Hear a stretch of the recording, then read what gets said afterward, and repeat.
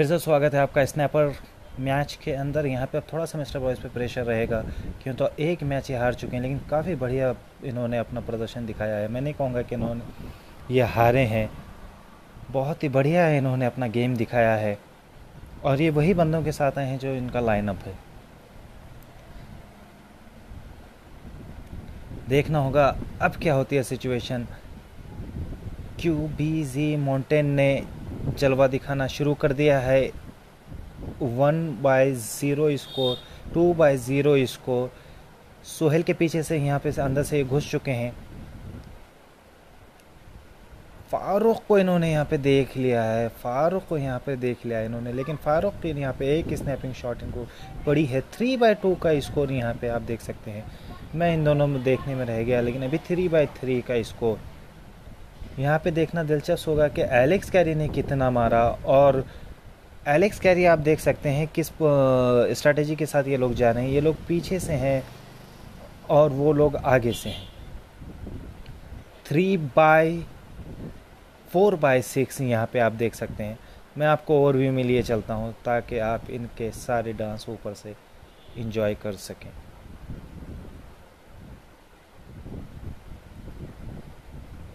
फारूक के पास तीन तीन बंदे हैं। फारूक को यहाँ पे स्लाइड डाउन करके निकल जाना चाहिए।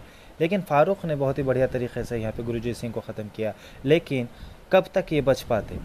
क्यों? तो सामने प्लेयर ज़्यादा मौजूद थे। अभी सात बारह का स्कोर यहाँ पे हो चुका है।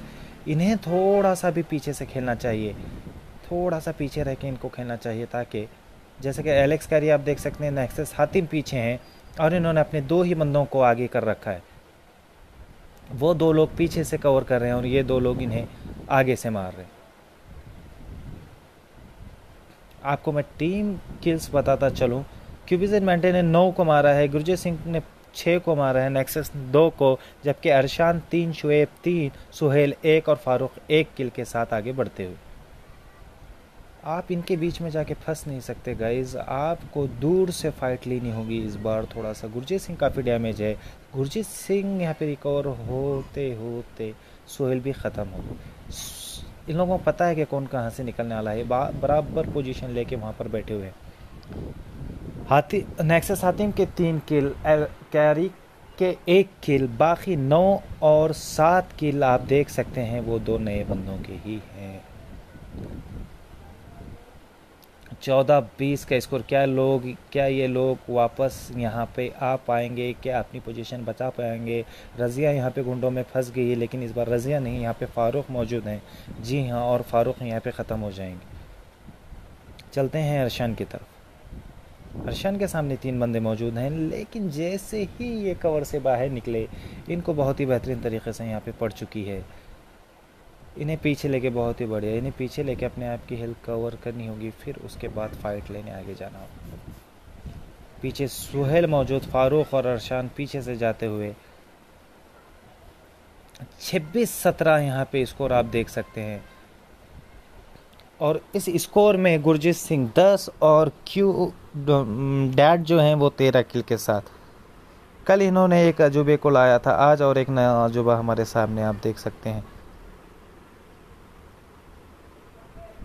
बहुत ही बढ़िया ये टीम जाती हुई। आई थिंक मुझे लग रहा है कि थर्ड मैच की भी कोई ज़रूरत हमें पड़ने वाली है नहीं और ये टीम ऐसे ही यहाँ पर जीत जाएगी।